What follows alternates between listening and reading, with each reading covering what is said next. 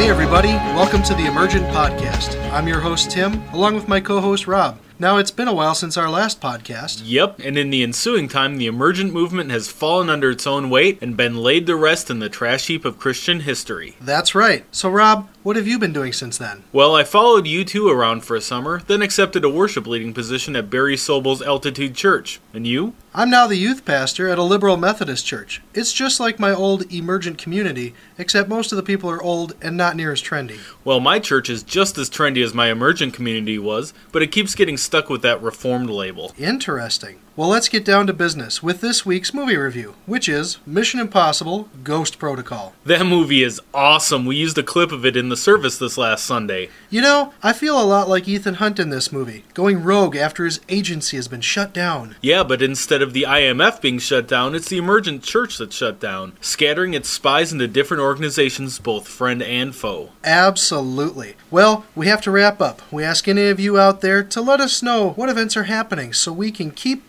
bringing the kingdom to earth. My church only volunteers at the local soup kitchen. They just don't see the big picture. And mine only does big conferences. I'm thinking of trying an Occupy movement of my own. Is that still cool? Even better, it's ironic now. Well, that's all the time we have, and we'll see you next time on the Emergent Podcast, brought to you by the Emergent Remnant. We're going back to the early church, but this time we're doing it right.